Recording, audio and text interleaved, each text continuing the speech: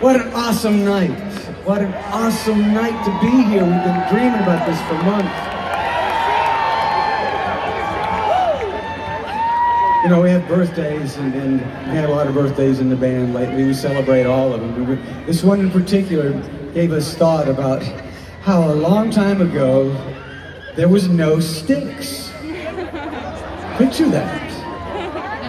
I don't want to picture that, but believe me, there was a time when there was no Styx band, there was no Styx music in the land.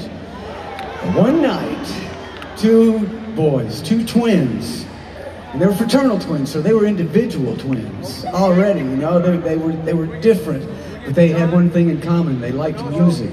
One played the drums, one played the guitar.